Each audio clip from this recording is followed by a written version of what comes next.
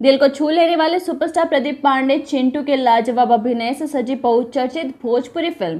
पिया मिलन चरा का ट्रेलर को एक दिन में एक मिलियन का प्यार मिला है। यानी कि एक दिन में एक मिलियन व्यूज़ यूट्यूब पर मिल गया है। World records Bhojpuri music company से रिलीज़ हुआ फ़िल्म के ट्रेलर में प्रदीप पांडे, चिंटू का सदा हुआ अभिनय दिख रहा है। साथ ही अवधेश मिश्रा की बेमिसाल अदायगी मन मोह लेता है। नायिका मनीषा यादव मासूमियत व अदा से जलवा बिखेर रही है। हरफन मौला देव सिंह एक अलग लुक और किरदार में ध्यान आकर्षित कर रहे हैं। अमित शुक्ला एक अलग अंदाज में छाप छोड़ रहे हैं। लेखक से निर्देशक बने लालजी यादव ने इस फ़िल्म के ट्रेलर में अपने अनुभव को बड़े ही सलीके से स्क्रीन पर उतारा है।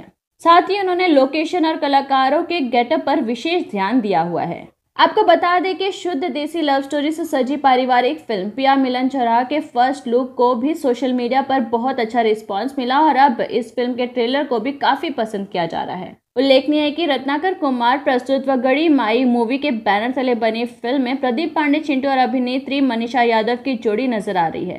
फ़िल्म के ट्रेलर में दोनों कलाकार रोमांटिक मूड में नज़र आ रहे हैं। फ़िल्म पूरी तरह से रोमांटिक स्टोरी पर बेस्ड है। प्रदीप पांडे चिंटू का लुक भी इसमें काफ़ी डिफरेंट है। इस फ़िल्म को लेकर चिंटू और मनीषा यादव काफ़ी एक्साइटेड है। आपको बता दें कि लालजी यादव के निर्देशन में बनी यह पहली फ़िल्म है। इस फ़िल्म की कहानी कुछ साल पहले हुई सच्ची घटना से प्रेरित है। जब आप फ़िल्म देखेंगे तो आपको एहसास होगा। फ़िल्म में मुख्य भूमिकाओं में प्रदीप पांडे चिंटू मनीषा यादव अवधेश मिश्रा देव सिंह व अन्य है। फ़िल्म को संगीत से सजा है। संगीत का साजन मिश्रा मुन्ना दुबे ने जबकि गीतकार है लालजी यादव मुन्ना दुबे और उमालाल यादव। छायांकन, विजय आर पांडे, उत्तम आर्य ने किया है। संकलन, बंदे प्रसाद, कला नजीर शेख और नृत्य कानू मुखर्जी का है। फ़िल्म के कार्यकारी निर्माता आशीष दुबे व मार्केटिंग हेड विजय यादव है।